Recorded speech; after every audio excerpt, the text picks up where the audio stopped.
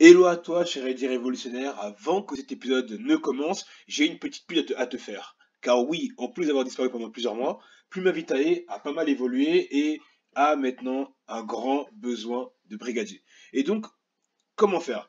Depuis le début de cette chaîne, eh ben, on, on fait des critiques audio, mais en réalité, tu peux à ton tour aider des auteurs et devenir toi aussi un brigadier qui va soit corriger, soit critiquer des auteurs. Comment faire? C'est simple, il te suffit de te rendre sur plumavitae.co tu as le lien en barre de description, rubrique lecteur et correcteur, et tout simplement remplir eh bien, le petit formulaire que tu vois juste ici, avec ton nom, ton prénom, et on te recontactera assez vite. En plus de ça, c'est rémunéré. Tu peux gagner au moins 1 euro, et voire même plus selon le nombre de pages que tu lis.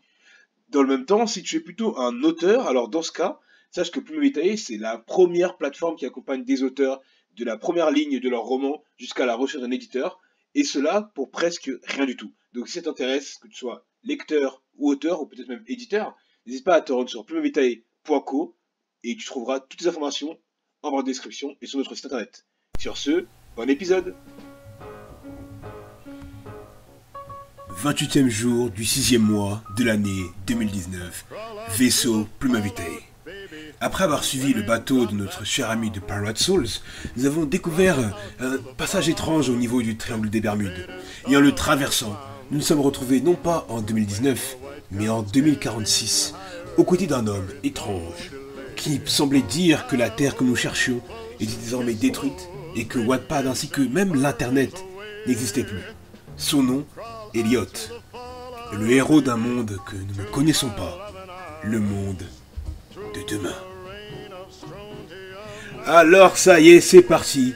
Nous revoilà, et oui, on quitte enfin un petit peu le monde des young adultes et on va maintenant arriver sur un genre de prédilection qui me plaît davantage, la science-fiction et surtout l'anticipation. Et c'est parti pour le monde de demain, mais de quoi ça parle? Le Monde de demain est un roman écrit par Lionel Truand qui est autopublié sur Amazon depuis le dernier trimestre 2018. Et, comme je disais tout à l'heure, c'est un roman de science-fiction d'anticipation. Et le résumé, même si je vous dirai un peu mon avis là-dessus, voici ce qu'il dit. Elliot est un homme ordinaire, à une différence près. Il a vu le monde s'effondrer. À présent, il survit en 2046 dans un pays dévasté par la guerre nucléaire.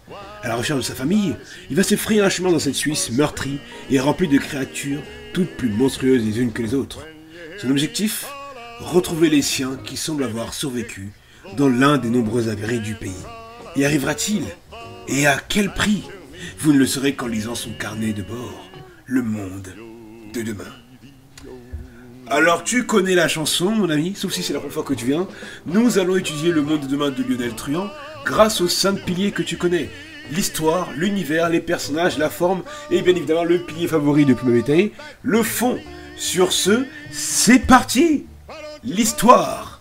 Un scénario fun, entraînant, mais... Alors, pourquoi tu as appelé cette partie ainsi? Premièrement, c'est le titre. Le titre, je sais pas, j'ai trouvé que... Bah, en fait, ça sonnait trop sage. Le monde de demain, ça veut tout nous inspirer. Ça peut être un roman écologique, ça peut être un, je sais pas, un, roman philosophique, même un livre philosophique, voire même pourquoi pas même un, livre de développement personnel. La preuve, en tapant le monde de demain sur Google, je suis tombé sur un livre de Joey Starr paru en 2012. Ce qui fait que techniquement, en fait, ton titre de roman, eh bien, est déjà pris au moins en France. Donc voilà, moi je trouve que, je sais pas, moi j'aurais peut-être appelé ça, je sais pas, Destination 2046 ou Terre 2046, car on suit finalement un voyageur. Et la destination vers laquelle il nous amène, c'est en 2046. Le deuxième point sur lequel je vais revenir, c'était le résumé. Je trouve qu'il est bien, il est sympa, il donne le ton, mais il pourrait être plus punchy. En fait, les éléments, ils sont là, mais il faudrait peut-être les mettre dans un autre ordre, parce que là, en fait, on est un peu dans le désordre. Moi, ce que j'aurais fait, c'est que j'aurais d'abord peut-être positionné la date et le lieu, la catastrophe, et pour terminer, on nous place ton héros, le héros principal et sa quête, à savoir retrouver sa famille. Alors que là, on commence avec Lionel, puis on enchaîne sur l'univers, puis voilà. Après, ce n'est que mon avis. Au niveau de l'histoire, elle est super intéressante. Moi, personnellement, après, c'est un genre que j'aime beaucoup. Et tout comme l'auteur, je suis fan de Fallout. Et je suis fan d'autres euh, romans d'anticipation. Hein, euh, typiquement, euh, voilà, euh, je sais plus comment ça s'appelle en, français, mais The Brand New World, voilà, d'Huxley. Voilà, moi, c'est des choses que j'aime beaucoup. Ce côté, on va aller découvrir qu'est-ce que ce serait le monde si on grossissait un des traits de l'humanité Ou si on allait plus loin dans le temps en continuant sur cette lancée-là?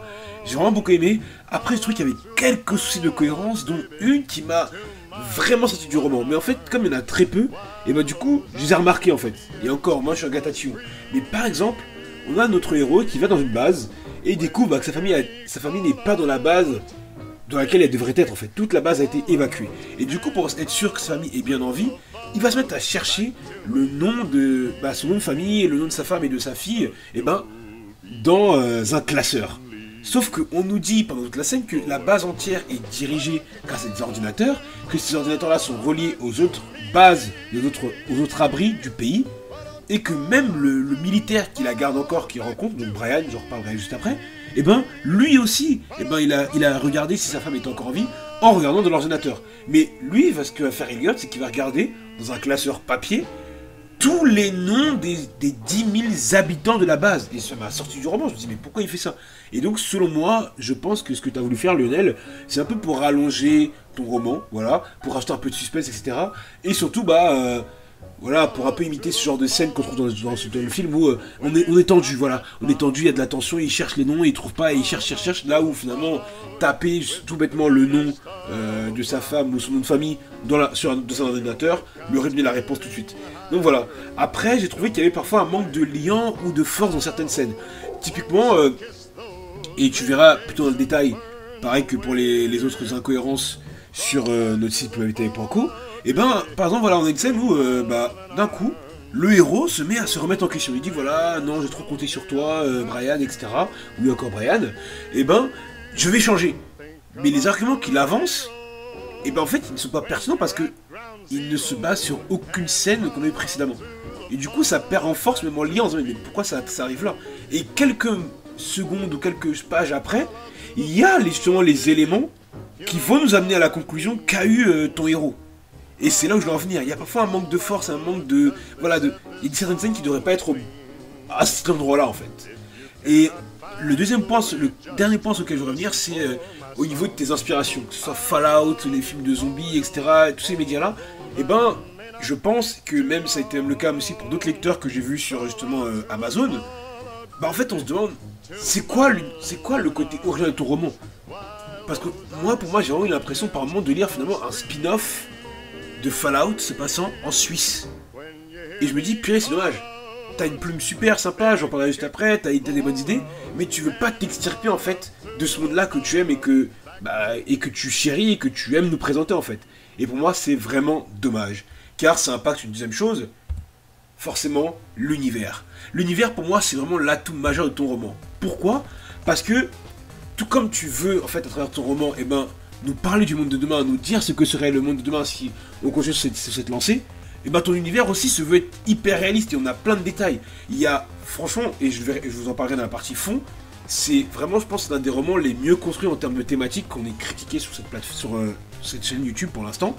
Et euh, parce que, en fait, tu cherches vraiment à être réaliste au point que même on a même des dessins, en fait, de la base, des dessins des habitats, des dessins de certaines villes, des dessins de certains monstres que j'ai vus sur, Instagram. Enfin, en fait, tu vas au-delà même du roman et tu veux vraiment nous immerger dans ton univers parce que plus il sera réaliste et plus forcément le message qu'il porte se vaudra réaliste. Car ton univers, en fait, il est vivant et il nous questionne en permanence sur le monde de demain et notre rapport au monde actuel. À chaque fois, il nous pose cette question-là, en fait. Est-ce qu'on fera mieux demain? Est-ce que, est-ce serait pas mieux de tout recommencer avant qu'on arrive à cette catastrophe-là, en fait? Et c'est ça qui serait génial.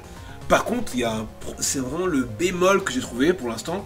L'un des bémols, c'est un attention plagiat. Par exemple, j'ai vu, voilà, fan de Fallout, désolé pour toi, j'ai l'air expert. Quand on, est dans la base, à la fin du chapitre sur la base, donc chapitre 3, je me trompe pas, tu me proposes un dessin de cette base-là. Et en fait, ce dessin, eh ben, c'est exactement la manière dont sont dessinées les bases dans euh, Fallout, que ce soit dans les jeux, ou même que ce soit jeux sur, téléphone, sur, euh, euh, le console, etc. Et là, je dirais de faire attention au plagiat essaye de, en niveau, externe toi, tu. Et le deuxième point, c'est aussi, pense aux non-suisses. À un moment donné, et eh ben en fait, on est dans une ville qui s'appelle Bernex, voilà, c'est la ville du héros. Le héros y va, et j'ai pas compris, en fait, genre, on, arrive, tu nous montres au départ des bâtiments, donc voilà, moi je pense que, ok, moi je pensais que c'était une petite ville, pas forcément une grande ville, parce que je connais Genève, mais voilà, je pensais que c'était une petite ville assez moyenne, avec des bâtiments, une, ville citadine, voilà, et en fait, non, Bernex, c'est un petit village. Et dans ce petit village-là, il y a des bâtiments. Sauf que tu nous dis plusieurs scènes après être arrivé à Bernex que, eh ben en fait, Bernex c'est un village. Et là, je me suis dit, mais pourquoi il a fait ça? J'ai rien compris. Donc je pense que tu aurais vraiment pensé au nom suisse, que ce soit dans ta description de Genève, ta description de Bernex, ou des autres villes, ou des autres endroits, vu que ton roman se passe en Suisse. Et ben, euh, ouais, mieux détailler ça et nous expliquer clairement les villes à quoi elles ressemblent, euh, reprendre des, des, euh, des monuments historiques, des choses que, en fait, finalement, dans la culture générale, on saurait reconnaître qu'on habite en Suisse ou pas. Enfin, je voudrais revenir sur euh, deux points.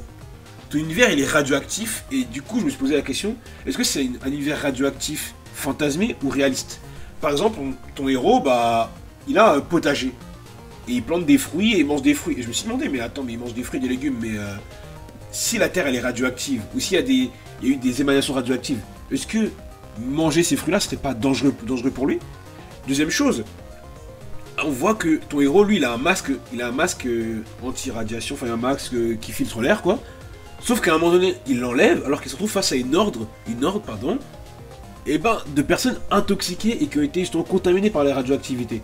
Et dans le même temps, il va rencontrer des personnages qui, eux, viennent de zones radioactives sûres, mais qui ne portent pas de masque, pas de gants, pas de protection. Et du coup, je me pose la question, est-ce que c'est fantasmé, réaliste? Voilà, on n'a pas trop d'informations à ce niveau-là, et du coup, je trouve ça un peu bizarre. Et enfin, mention spéciale aux fantômes radioactifs qui se déplacent grâce aux ondes électromagnétiques. J'ai trouvé ça vraiment super intéressant, super stylé. J'ai plutôt l'habitude moi d'avoir des zombies, etc. Et là, le côté fantôme, donc finalement bah, une mythologie à part, et le côté en même temps radioactif, a fait qu'en fait ta mythologie bah, de tous ces monstres radioactifs, elle a pris, elle m'a choqué en fait. Et je me suis dit, ah ouais purée, c'est trop cool. Et donc du coup, qu'est-ce qui est encore plus cool dans ce roman? Eh ben ce sont les personnages. Parce qu'en fait les personnages dans ce roman-là sont pleins de symboliques. Le roi personnage pour moi de ce roman, eh ben en fait c'est l'univers en lui-même.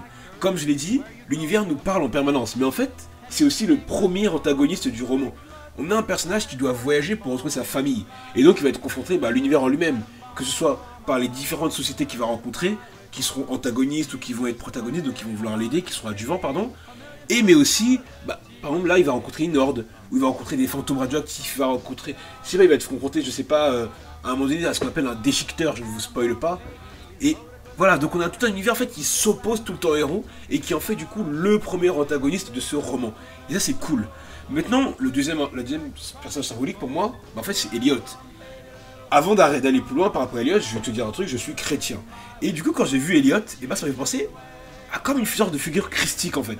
On a, si vous voulez, un personnage qui devrait être, je sais pas, bourru, euh, abattu par la vie, un peu, bah, un peu comme une sorte de, pour ceux qui connaissent, Okuto no donc un personnage qui, voilà, vit dans un monde post-apocalyptique, qui n'a pas le droit de développer, où, les émotions eh ben, sont considérées comme une faiblesse, où on doit être dur, on doit être fort, c'est la loi du plus fort, c'est la loi du talion. Et en fait, on a Elliot qui, lui, eh ben, en est quasiment parfait dans ce monde-là. C'est-à-dire qu'en fait, le monde est tellement imparfait que lui, ça l'a poussé à devenir encore plus parfait, encore plus humain. Par exemple, bah, il va aider à la fois des humains qui sont par, par des monstres, et dans le même temps aussi, plus tard dans le roman, on va le voir, sauver un loup alors que c'est même loups qui sont au point de les attaquer. Donc voilà, on a cet être humain qui en fait décide de se reconnecter à la nature, tant aux hommes qu'aux même à ses ennemis naturels, à savoir ces loups-là en fait. Et alors qu'il a sa quête à lui, son objectif à lui, mais il décide de mettre une pause à sa quête pour s'occuper des autres. Mais du coup, ce côté un peu trop parfait peut agacer parfois. Je, je te détaille ça un peu plus dans la description, et, euh, dans, ma critique qui est sur plumavitae.co. Mais en fait, comme Elliot est le narrateur, eh ben, il va nous faire des leçons, des proverbes. Et la façon dont il le fait fait que ça fait un peu trop euh, donneur de leçons en fait. Et donc peut-être que ce côté un peu trop parfait, un peu trop Jésus-Christ post-apocalyptique d'Eliot peut jouer en sa défaveur et dans l'attachement qu'on peut avoir au personnage. Enfin, le dernier personnage sur lequel je voulais revenir, c'est Brian. Brian, c'est, bah, il apparaît et moi, bon, clairement c'est l'archétype du soldat. C'est le mec, euh, il est dans sa base, il est tout seul, tous les militaires autour de lui sont morts et tout, etc. Mais lui, il a essayé de rester dans la base et de continuer à la protéger, coûte que coûte, parce qu'il pense qu'un jour, potentiellement, il y aura peut-être des humains qui vont venir dans cette base et qu'ils auront besoin d'un leader pour les protéger. Et quand il va rencontrer en fait euh, Elliot, et ben Brian, qui est finalement le produit même de cette société qui veut qu'on soit euh, bah, des actifs de production, donc en fera des workaholics, des gens qui ne pensent qu'à travailler, il va se rendre compte qu'en fait il a loupé sa vie là où Elliot est resté humain et qui se rappelle que son objectif à lui, et ben son rôle principal avant d'être Elliot, c'est d'être euh, un père de famille, bah Brian va se réveiller et se dire Mais mince en fait, j'ai passé tout ce temps-là à protéger une base et pas protéger ma famille. Et ça, je trouve ça hyper symbolique parce qu'on a un Elliot qui est hyper émotif, hyper émotionnel, qui suit ses émotions, et à côté, on a un Brian qui en fait, bah, limite un robot, une machine de guerre en fait, qui au contact d'Elliot va potentiellement évoluer, mais aussi faire évoluer Elliot. Et ça, c'est beau. La deuxième chose qui est très belle, et c'est aussi une force du roman, c'est la forme en elle-même. Franchement, pourquoi presque à la perfection? En fait, je ne trouvais pas d'autre moyen de parler, c'est que, en réalité, à part 2-3 points, et eh ben en fait, tout est vraiment professionnel, géré, et je trouve même que, bah pour moi, c'est presque à, éditer en fait, c'est presque éditable tel quel. C'est-à-dire que oui, il y a quelques fautes. Oui, je trouve que parfois le style épistolaire, malheureusement au niveau des temps, fait que parfois, et ça après c'est totalement mon avis, et eh ben l'action est aplatie, c'est-à-dire que parfois on a, des, moments de tension, de, où ça devrait être tendu, par exemple, à un moment donné où le, Elliot se pose plein de questions. Et au lieu qu'en fait, via le temps, via la narration, eh ben, l'action s'accélère, et ben en fait, bah non, comme Elliot nous raconte ça de manière rétroactive, et ben ça aplatit l'action. Pareil quand il se bat contre le destructeur, ça aplatit l'action. Donc ça c'est purement subjectif et peut-être que tu devrais voir ça avec d'autres d'autres lecteurs. Mais moi, ce côté épistolaire, je me dis bah en fait peut-être que tu devrais tricher et écrire en fait ton roman avec les temps du récit du passé normal. Après, j'ai trouvé voilà, il y a quelques tournures de phrases assez lourdes, il y a des répétitions. Je t'en ai noté quelques-unes pareil dans la, critique complète. Et par rapport aux fautes, je te renvoie bien évidemment aux euh, corrections qu'ont fait les autres brigadières, parce qu'il en reste quelques-unes et malheureusement, bah, ah, ça, entache en fait le roman. Et enfin, le dernier point, bah, c'est au niveau de l'avant-propos. Eh ben, on comprend pas trop en fait.